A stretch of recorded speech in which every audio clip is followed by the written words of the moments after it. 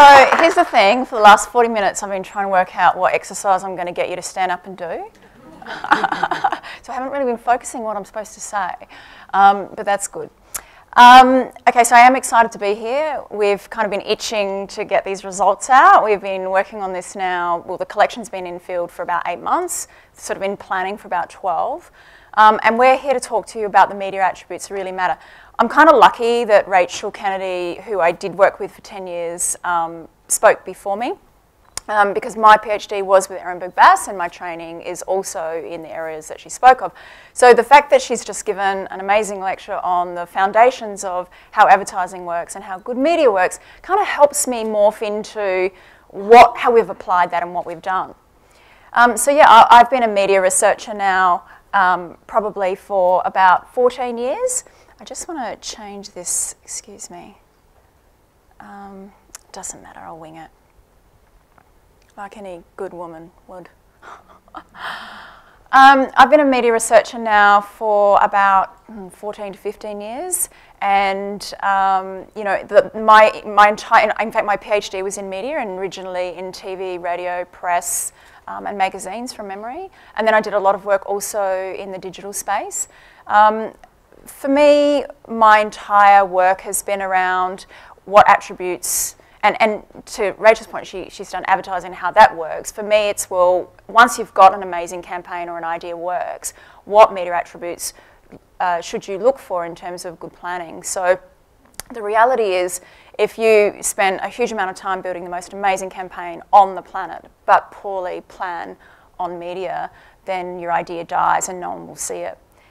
So for me, again, having trained so well at Ehrenberg Bass, um, when Kim approached me a year ago and said, okay, well, can you please, you know, the, the, unfortunately the sands are shifting.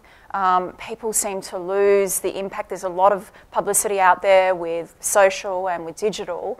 Um, maintaining your integrity and being platform agnostic, can you try and help us work out or unpack why TV works? And so for me, the best place to start was my baseline knowledge. And so what we did is we said, okay, well, let's, let's look at what we know, let's look at what's been tested over time, and then see how TV performs in amongst those, oh, under those conditions, but using technology that has kind of transcended some of the measurement. I mean, Rachel talked about measurement and being very inertia-based. Um, I'm all about um, taking measurement that's in um, systems now and actually applying technology to minimize human bias. So we thought we could stretch it a little bit further to improve and scale the, the um, study.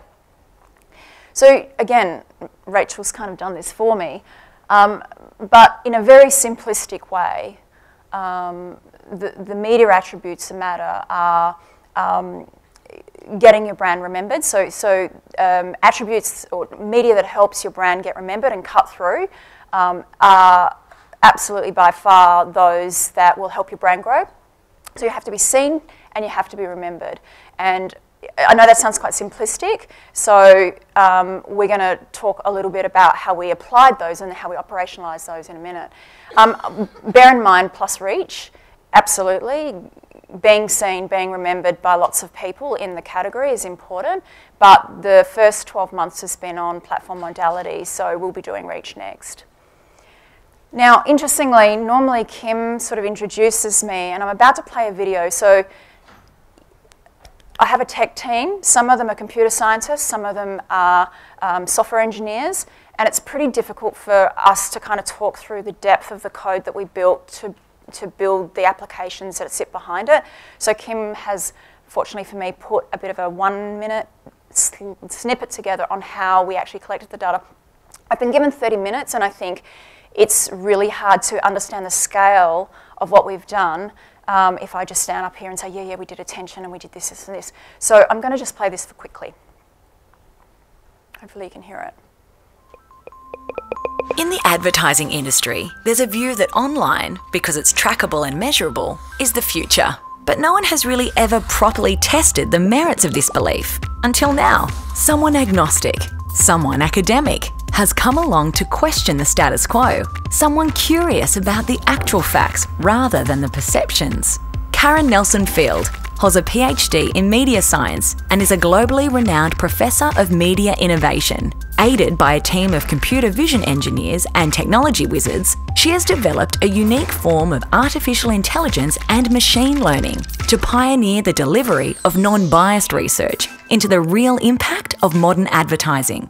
Commissioned by Think TV to undertake the Benchmark series, the Good Professor and her team of boffins questioned the commonly held assumption that hyper targeted online advertising delivers the most impact.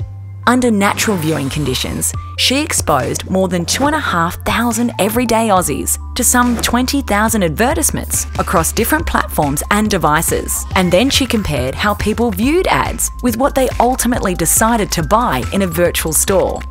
Eye tracking software recorded people's attention across a 30 minute period for nearly 2,000 viewing sessions on mobile devices, laptops, and big screen TVs. An inbuilt app scanned screens and recorded any advertising that appeared, then used eye tracking to see whether respondents paused, for how long, and how much of the ad, in terms of pixels, was in view on screen. And the final stage of the research involved people shopping in a virtual supermarket. Known as discrete choice modelling, it is recognised as the most realistic way to measure consumers' actual choice of brand. The results are seismic, likely to shake up many widely held misconceptions around today's advertising platforms and ultimately show where advertisers get the most bang for their buck. So stay tuned. So that probably helps you understand scale. I mean, typically when you are measuring attention and things like that, you think of people sitting in a lab with a set of goggles on. Um, we designed um, some code that actually measures eyes on screen, eyes on ad, eyes on screen and eyes off ad. And so the team, we didn't use Affectiva or any kind of, you know, sort of off the shelf um, code. We actually built our own specifically related to the literature and related to this particular study. And it was on every device. So the app could then be downloaded on anyone's device on any TV. We also supplied cameras to about a thousand homes and it could play through their system. So it was pretty amazing. Um, so we're talking about cut through and we're also talking about brand quality today.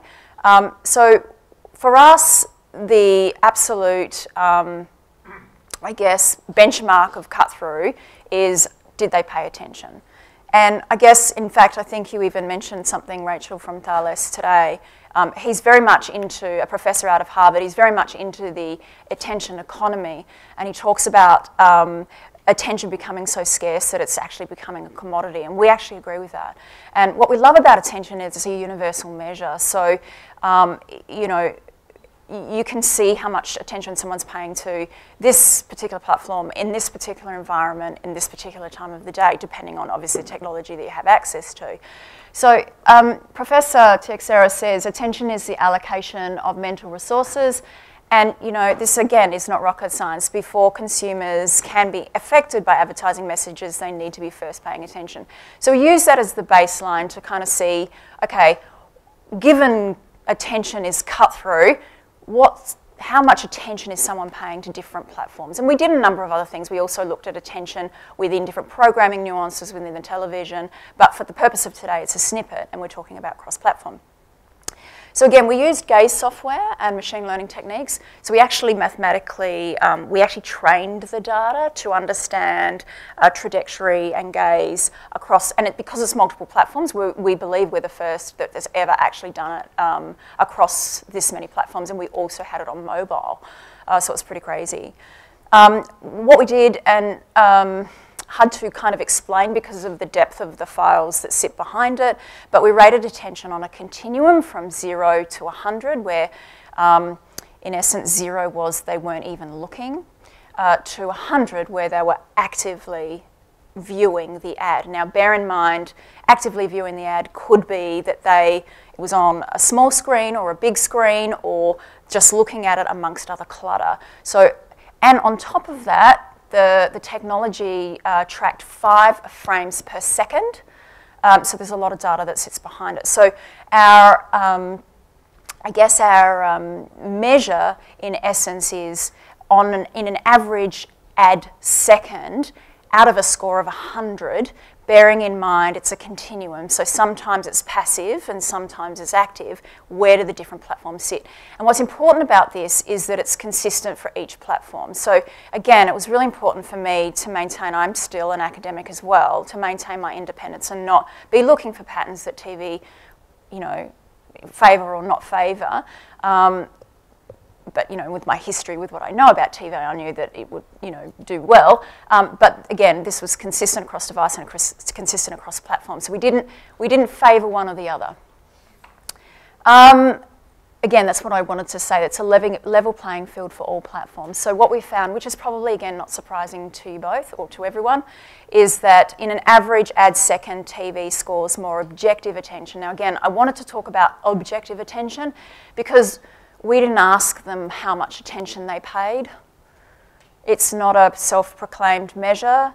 They didn't, I mean, they knew because they had to opt in, but they didn't actually understand what we were doing in the background other than they had to activate their camera, and the app did that for them.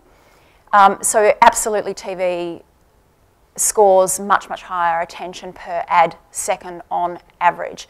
And, you know, to me, this doesn't really surprise me. What the next few slides are about is what unpacks it. So just unpacking that aggregate score, this is how the non-viewing, passive viewing and active viewing looks to be open and fair to everyone in case they feel that we're being too black box within the aggregated score. So we can see that TV commands twice as much active viewing as YouTube. I also circled the 94% because Facebook's attention, and one journalist has actually asked me this in the last few days, Facebook attention is perhaps a little bit higher than people would think. Um, we rate passive attention, in fairness. So we think that, I mean, active attention without a doubt is gold standard. I mean, if you're looking at the ad, you are making a cognitive decision to view something, usually. Um, but passive attention does have a role to play, and as you can see, that's where Facebook make up a lot of their ground. So the reality is that, you know, um, there's some sort of um, subconscious process happening if you are kind of sort of looking to the side but not really paying attention. And this is good then for TV as well because then it's sort of, you know, you might be in the room and not looking at it, but you can see it in the peripheral vision or hear it, etc. So, so passive and active are the two that we, we rate quite highly.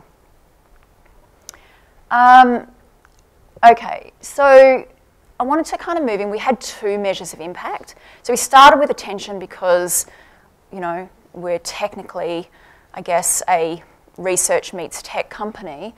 Um, but we also wanted to have a look at sales. I mean, at the end of the day, sales are the gold standard, and I've got some.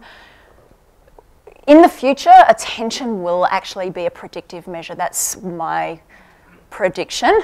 Kind of weird to say it in the same sentence, but I believe that attention will be a predictive measure of sales. We can already see, and I think it's eight sets of data and counting, that attention is, I won't say correlated because we did regression, but um, it is very related and has a very strong relationship with sales. And it's so consistent across all sets of data. So we're really excited for that because, to be honest, collecting sales in the way that we did, bear in mind we had about eight or 10 groups, test and control groups across Australia. Sales is hard to collect. We had to control for so much. So we chose discrete choice modelling which is what the video described, which is essentially once they'd actually looked at the content or viewed the content, and I'll explain a little bit about how we did that in a minute, then they were directed to an online virtual shopping experience where they had choice of, and it was, it was lots of categories, lots of choices. I think in the end there were about 38,000 brand choices that over the entire survey people had expo exposure to. So it was massive. Um, but it was hard to collect because as anyone knows, um, often people get bored with doing something for 30 minutes and so we'd, ha we'd have to keep pumping up our sample because we needed to get our true single source, which was actual viewing and actual sales data, which we ended up getting. Um, the other thing I wanted to say is the measure that we use now. I know that the geniuses of long-term brand building are here, Um, but we, we did a massive experiment, okay? So we needed to take a snapshot in time and we used short-term advertising strength and I just wanted to explain that I, I don't need to overly complicate how we measured it, etc. But it's a gold standard measure of short-term sales impact. And the reason why I'm making a point of that is that there is a caveat here. This is an experiment, so it's short-term effect, which is basically, were you exposed, did you buy? Or were you not exposed, did you buy? And look at the differences between them. That's how we modelled it out. So we had our discrete choice data, and then we analysed it using quite simple short-term advertising strength, which is gold standard for that. Back to the creative, I wanted to explain how we got that because I'm not sure the video really, and I had a question this morning from a journo asking me this question. To make this as natural as possible, what we did is this. We started with YouTube natural exposure and we built some technology to sit behind the platform, okay? And basically it's an intercept, like an ad intercept technology. It does a couple of other things, which I'll tell you about in a minute as well. But what it did was it said, go for it, just go onto YouTube, don't do anything other than say yes to the camera, um, and just use it naturally. Okay, so what our technology did was, and this was our largest sample in the, in the group, um, it basically um, tagged advertising and pulled the data or pulled the video off of YouTube and put it into a, um, a bucket, in essence. And then what we could do is we then could populate the television content with that exact same creative. So that group A, which there were multiple groups in the YouTube group, but group A saw the exact same creative as group B and group C. So what we then did with Facebook to make sure it was completely natural was we intercepted their ad load. Okay, so it's a bit like an ad blocker kind of piece of technology. So it's not just ad tagging, but we add, we use the code behind ad blocking and we then dropped this content or these, these um, ads into the natural Facebook experience. So the customer would not have, or the viewer had no idea that the ads they saw were not specifically purposed for them. Someone asked me this morning, well, you know, does that mean, you know, how does that work? Because half of the time, which I don't believe is half the time, there's relevancy around the ad load. And I said, yes, but it was consistent across all platforms, so that's the important part here. So everything we're doing is like for like for like. There's no apples, oranges, and pears. Um, so given attention is so highly correlated to sales, this is not unexpected. Um, and the patent didn't surprise us. So um, in terms of product choice, and if you think of it a bit like an index where 100 is our baseline, um, YouTube, Facebook, TV, and obviously TV gains more attention and then sales in that order. Obviously you can't, it's not the other way around um, the patterns are striking. So that's where the press has come from in the last couple of days, that TV drives more sales, but it is directly related to attention, to be honest. And I'll explain and unpack that in a second. So I think the key takeout for this section is the platform that commands the greatest attention gets the sale, without a doubt. And look out for some stuff we're doing with predictive attention. I think that that will be quite interesting next. So we wanted to also have a look at clutter um, as an artifact, I guess, of cut through. Um, and reconsider, I wrote, because to be honest, some of the earlier work I did with probably Rachel and Byron at Ehrenberg Bass Institute. So a lot of the time, clutter, and, and it's got a long history, it's got a long history of having a negative impact on brand favorability, um, memory impairment, uh, lots and lots of things, sales, and even some of my own work, which was published around 2012-13, um, shows the obvious patterns. And often, often clutter is um, looked at in one way, and I'll show you what we've done. Clutter is typically looked at how many ads in an ad pod were there, and if you reduce the amount of ads in an ad pod, does that help or hinder recall, and it's typically recall, which is very outdated now. Um, but the patterns even then were striking, and that's the truth. The reality is that clutter does impair ability to be remembered and recalled. And my own personal work, so the TV and radio work was done prior to my, um, it was from literature, and I actually did some work in the Facebook space, knowing that the clutter on Facebook, in terms of the amount of ads you're exposed to, is so much, I would expect it to be so much higher. So we did that. We, we actually looked at we, we, we had 200 students actually come through use and we, we I remember that was my early coding days. We, we noted, I think we screen recorded what they did on Facebook, and then I had all these poor students like noting down how many ads did they see and how, what point. So I think it was a six month coding effort. It's actually quite funny now when I think about it. Um, so yeah, obviously recall drops considerably when clutter goes higher. But there's more to clutter. Clutter comes in many, in many forms. And you know, we know now that attention is so much stronger on TV, but why? So what we wanted to consider was, does coverage, coverage as being a proportion of a screen that the ad covers, play a role? Okay. The beautiful thing about this is, bear in mind, I've just talked to you a little bit about how we did the experiment. We did not change the amount of ads people naturally saw in any platform. Okay, so I can't, I can't look at clutter cross-platform because that would mean I would have to restrict or add in numbers of ads on a Facebook or YouTube scenario, and then that's not natural, right? But what we can look at is how much of the screen an ad covers. And does that impact attention? Now let me explain. The other thing we did in the back of this code is apart from ad intercept, um, video downloads, camera activation, this little smart electron app did also um, measure ad pixels on screen. Who knows what viewability is in the, in the online standards? So, so pixels on screen is the amount of the ad that's on screen. So whether it's, that the current standard is 50%. Okay, so we measured pixels on screen because the technology literally tagged it. We also then looked at time on screen, that's obvious and that's easy, but also screen coverage. So every single time someone loaded the ad, it automatically could take measurement of the app, or sorry, of the device that they were on, regardless of whether it's a small mobile, big mobile, big TV, small TV, other device, instantly. And what that enabled us to do was kind of go, okay, well, knowing that, does coverage matter in terms of the ability to drive attention and subsequent sales? Um, but before I do, I wanted to try to sort of describe or just, you know, the, the actual output of that. Um, and you know what, I don't think that you would be this shocked this is pretty sort of fairly standard expectations. Screen coverage on TV is about three times that of YouTube and 10 times that of Facebook.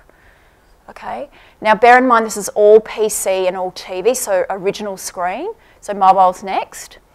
Um, but that's on average what coverage for 100% pixel ads. Now that's being fair because very few ads reach 100% pixels on the, particularly Facebook um, and compared to TV. So TV always gets 100% pixels, 100% coverage, 100% of the time, whereas you can kind of see the differences there. Now, so we were going, well, okay, so if we then cross-relate that to our attention data and our sales data, does it make a difference?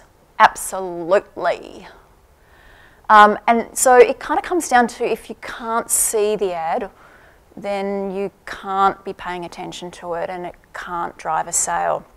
So we found really, really strong relationship between coverage and sale and coverage and attention. And again, you know, I know that Earl was talking about just spurious correlations. This was regressed, but also it was multiple sets of data. So, you know, same pattern, significant sameness. So when you then kind of overlay it back to our active watching numbers, the patterns are quite striking. So more screen coverage, without a doubt, gains more active attention.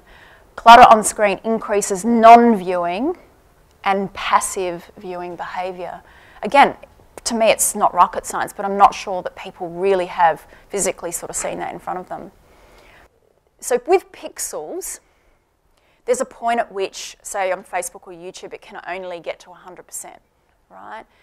But because of the amount of coverage, we could see that um, as pixels approach their limit of possibility, coverage becomes more vital. So they limit themselves and could get more attention and could get more sales because if, if they had a full screen, for example, like TV. So put it another way, 100% pixels covering a larger proportion of the screen has a greater impact than 100% pixels covering a smaller proportion of the screen. So pixels matter, but coverage matters perhaps even more.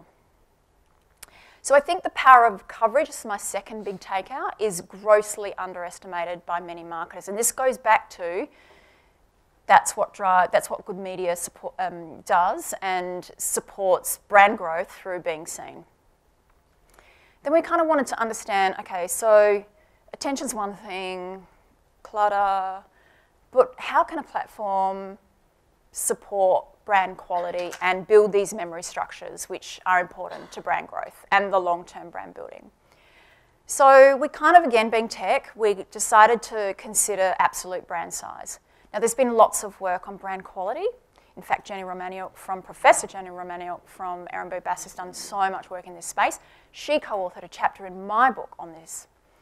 Um, so, but what we decided to do was use an annotation tool on the on the ads that we had. So we basically built this little annotation tool, which in essence kind of tracked we, we, just, we told it, we, we trained it what the brand looks like, and we, and we let it run across it. And basically, what it could do, we picked three metrics of importance to us, and we had a look at brand frequency, so how often the brand appeared within the ad, entry timing, which um, again, Professor Romaniuk knows that and has suggested that's really important for early entry, and brand prominence, average size of the brand within the ad. And I don't think that's been done very much, and if it has, it'd be largely subjective. Poor coders sitting there for six months. So we were able to go, done. So what we then did is we split the higher performing ads with the lower performing ads through the median and just went, can we see any differences between the two types?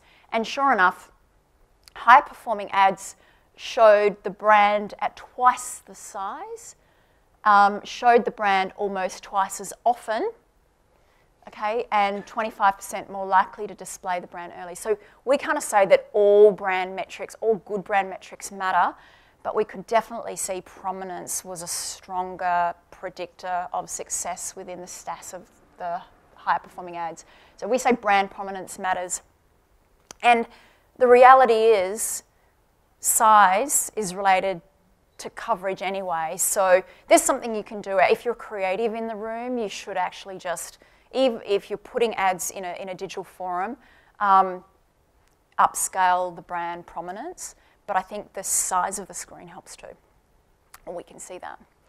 So one last little thing, how else was brand prominence considered? So some other, um, some other programming nuances, I guess, within particularly the TV forum, and, and each platform has its own programming strengths. Um, but we wanted to have a look about at, at, sponsorship, really. So, you know, there's a lot of um, in content, in in programming, brand uh, sponsorship. So we, we thought, well, we have the, the, we, we have the test and control groups. Let's try and have a look and separate out whether a typical 30 second ad is actually better or worse than, I probably shouldn't use the word worse, all advertising is good, um, oops, um, between a, a, programming or non. And the other thing we did do, and I won't, I won't go into too much detail, we also then subcoded it by way of the talent interacting with the brand. So in this case, the Master Chef contestants are actually going into Coles, running around, interacting with the brand versus Gary from Master Chef. I had to get his name from Kim the other day. I'm so bad. Um, in the background he'll probably turn up one day and go, you don't know who I am, do you? Um, and, or just in the background. Uh, the reality is, short segue, is when it's big and they're interacting with the brand, it's stronger than when it's, when it's just in the background. Obviously, because that's a prominence thing. But the reality is we found that sponsorship in quality content does have an effect on sales and attention. Um, and, you know, I guess that is, um, like I said, it's a prominence thing and it's um, exciting if you want to get your brand noticed, cut through. Um, so being able to see the brand does matter and coverage facilitates brand prominence. I think that's the third outcome. I was asked the other day whether there was, you know, this is groundbreaking and I think it's just so simple to me. I almost am embarrassed that they say that. I think it's the, the combination of the fact that it's individual level, single source data combined with technology that minimizes all this human bias at scale that makes it unique, not so much the findings, because to me, I expected these findings to hold. So when I kind of say being able to see the brand matters isn't really that surprising to me. So last slide, um, I haven't told you everything. So in two weeks, I'm presenting at Rethink. Um, and there's a whole nother section, and I tease you slightly, where we looked at and went deeper into the viewability, the online viewability research, uh, um, standard. So we've already talked about our technology managing to capture pixels, time, and coverage. So there are three um, measures of OTS. But what I haven't told you is what we found with pixels and time and what that means for the standard. So I guess for me, today, all roads lead back to being seen and coverage is at the core of much of the impact. But I want you to come along and have a look at what we've done that extends this work and it's actually quite exciting. So thanks for your time.